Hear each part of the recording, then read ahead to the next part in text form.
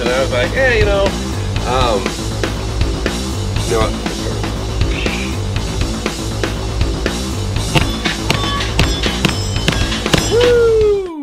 Hello and welcome back to Citizen Pew. Today I'm at the range and I'm going to talk about something other than firearms. I know, right?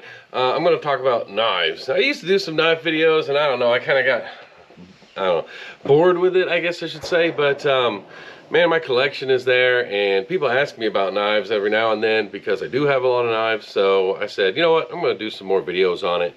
I don't know. Um, I'll do probably three or four going through my knife collection and uh, we'll call it, you know, knife uh, season or something like that. Knife NATO, I don't know, whatever the term is nowadays. Anyhow, as you saw in the thumbnail, I want to talk about out the front knives, and I carry an out the front knife pretty regularly. Um, they're not allowed in some states. Some states are not free states, so um, and countries for that matter. But I have a number of out the front knives, and uh, I said, you know what? Let's do a video talking about them. So we're going to go through my favorite three brands of, uh, how should I say it, budget friendly out the front knives. So, all right. Whew, I got a scale. Yep, here we go. We're to get started. All right, so the first brand I'm to talk about is CobraTec, and they have a couple different models, like the one here that I'm carrying today, and uh, it's really nice. It's an aluminum uh, framed knife. They also have, let's see, this is a steel framed, if I believe correctly, right there. So they are pretty nice knives. You can pick these up for, uh, depending on the model, they make a bigger and a smaller version of this one. This is the only size they make of this style. Um, these styles do have the glass breakers on them. This one does not. But you're looking at anywhere between 75 and $125 depending on which model you pick. Now, um, these are a little harder to open and close for some people. So uh, that, that deters a few people, I know, uh, to have them. Now this model here is a little bit easier to open than say this model. So, but I got my scale here. Let's do a comparison on the weight. So these are the same size. Like I said, this one does come in a, in a larger model and a smaller model, which I do have the smaller model. I use that for a work knife, um, but it is it is wore out. I need to pick up another one. So I didn't even bring it for this video. So, but here we go. We're to weigh these real quick on the scale and see what they come in at. All right, here we go. This is the lighter model right here. Put that on the scale. It comes in at 119.2 grams. So there you go. Now, let's put the heavier model on there. And that one comes in at 191.0 grams. So there you go. It, the, the green model here is a little heavier. All right, there you go. You can see uh, the CobraTec right there. Now, I really like the CobraTecs. They were the first kind of budget-friendly out-the-front knives I started looking into. And I've got a number of them, uh, three or four of them actually, so I really like them. All right, moving on to the next brand here. This is a brand, oh, before I do that, CobraTec, this is the case you're gonna get them in like that. It's a hard case. It's pretty nice. So, and all of these come with little, you know, uh, knife holders, knife sheaths, whatever you want to talk about them, that you put on your belt and stuff like that. So, but I just pocket carry. So, all right. The next one I want to talk about is uh, Templar uh, Templar knives. Right, right here. Boom. Templar knives. They come in a box like this. They come in various sizes too. I got a thinner one here and a wider one bam. And I'll tell you what I'll put these model numbers in the description of the video uh, when if you want to look at any of them but this is the thinner one right here and it is a double-sided blade. Check that out yeah.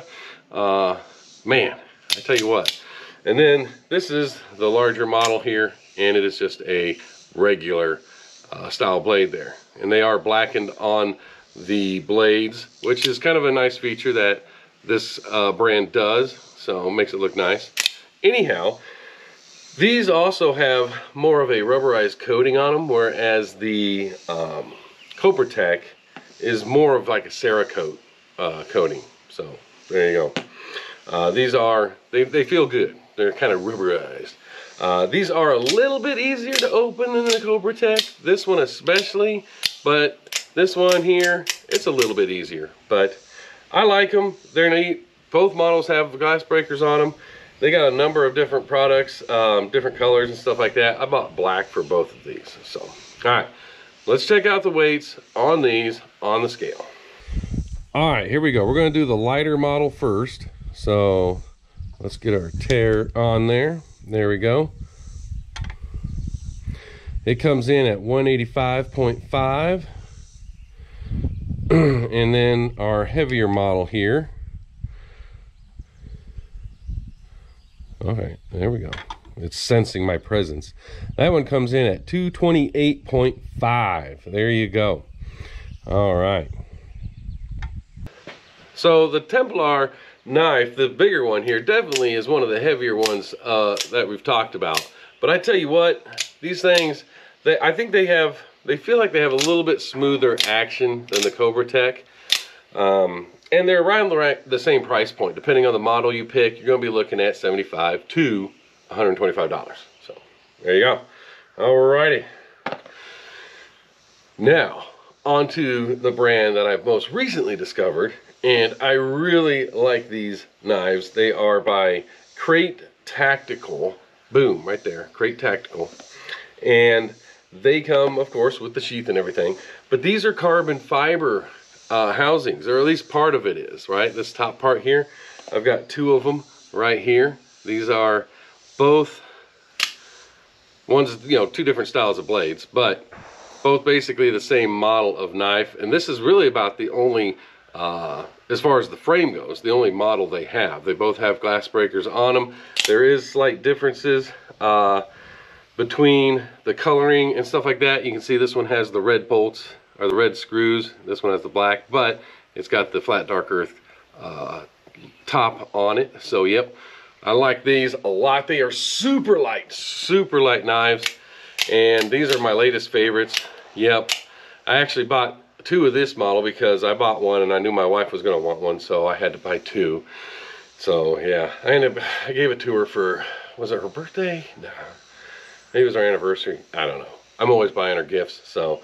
But yeah, she got, I, I, mean, I knew as soon as she saw it, she was going to be like, I want that. So I had to buy two. I had to, you know. Anyhow.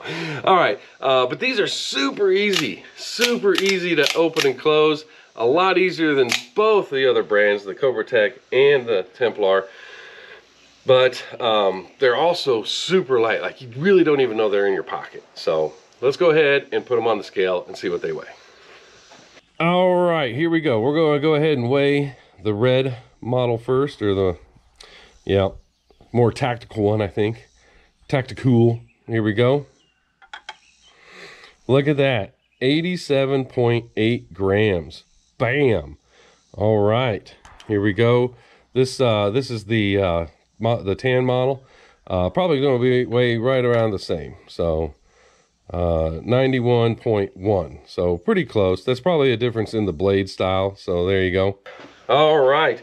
So yeah, Krate Tactical is definitely the lighter of the knives. And like I said, I think the, the weight difference is in the blade style. So you can see there, there's probably a little bit more weight with the tan blade like that. So anyhow, they come in various models with very uh, various knife edges too, uh, but their frame, uh, I should say various uh, colors and stuff. Their frames, I've only seen one design so far from them, but I'm really looking forward to more products from Krate Tactical. I think these knives are, I mean, for the price, you just can't beat them. I had a guy, uh, one of the vendors that comes into work regularly, and he asked me, he had a, a colleague, I can't remember, I think they were retiring or maybe it was a promotion.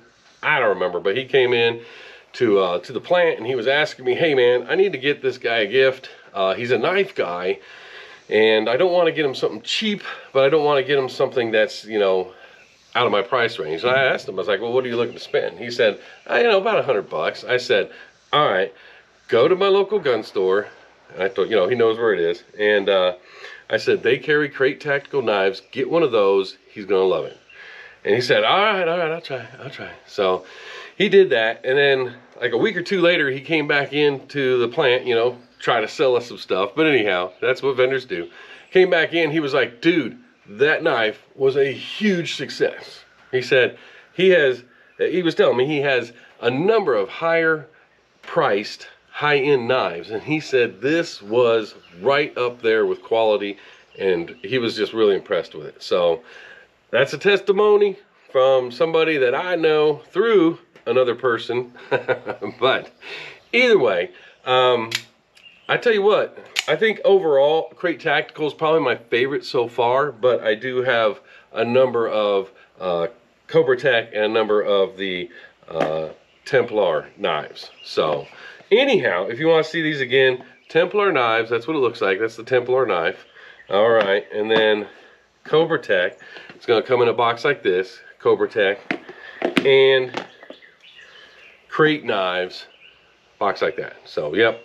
Um, and like, you know, I'm not affiliated with any of these knife companies. I just, my, my local gun store has a knife section and um, they really they, they they've been doing a good job of trying to bring in some new stuff and uh, other than just some standard knives and stuff like that but also maintaining the quality i've been to some gun stores uh, and sporting goods stores that carry some knockoff brands uh, and you literally cannot find the brand name on the knives at all especially the out the front versions of them uh, and i've picked a couple up just for like you know uh, little handouts to to people uh, of those generic ones, and they just don't last as long. They they don't feel as qual you know the quality just doesn't feel right. Um, but they work, and you know they're kind of like a novelty thing that you can pick up for 20 bucks.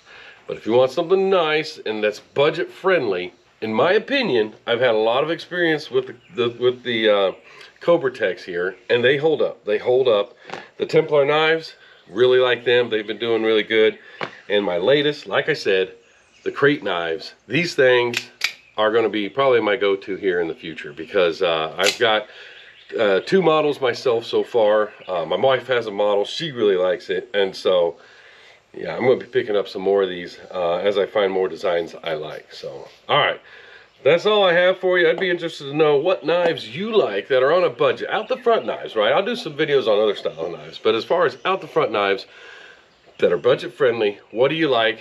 Tell me if you know something that's out there that I haven't displayed here. These are the three brands I know so far um, that are budget friendly, right? Of course, we all know the high-end ones. And, uh, you know, if you want to spend five, six, seven, eight hundred dollars up to a thousand dollars, by all means, do so. But if you're looking for something that's an everyday carry that, you know, you're not so worried if you tear it up. This thing here, this one I carry all the time when I come to the range. It's kind of my range knife. And you can see there, I need to clean it up and stuff like that. It's getting a little dull. I need to sharpen it. But, I mean, for, uh, I think this one was, you know, 80, 90 bucks out the door. You can't beat that. You can't beat that. So, and, and it's held up. Yeah. So, let me know your thoughts down in the comment section. I'd be interested to know other brands that I can try out too that are budget friendly. Anyhow there you go. That's my first knife video I've done in forever. So let me know your thoughts on how I did it, if you like the scale, if you don't care how much they weigh. Uh, I didn't really go over the blade styles because I was more wanting to talk about the actual knives, or the actual brands themselves and their uh, kind of general features. If you want to see a video down the line on blade types, let me know. Uh, I've got a lot of resources on my website that people can link to uh, Blade HQ, and a couple other where you can go and just find all the information you want on blades. And, um, but you know, I don't, I'm, I'm pretty simple when it comes to a knife. I want one that works. I want one that I can sharpen. And that's about it. So anyhow, let me know your thoughts. Put a comment down in the comment section. Give the video a thumbs up if you liked it. Don't forget, you can subscribe to the channel if you're not. Check out other videos. I also have another channel, Citizen Pew Garage, where uh, now I have a shop. I have a project truck. I'm doing home improvements. I mean, tools, everything. I just, you know, I already have all the camera gear and I'm doing all these, uh, you know, do-it-yourself jobs. I said, let's just create another channel. So I did. Uh, so you can check that out too. It says Pew Garage. Anyhow, that's all I have for you. Uh, I tell you what, I'm getting ready to get in the AC for a minute before I start doing some shooting because it is humid out here. But I appreciate you watching the video. You all have a good.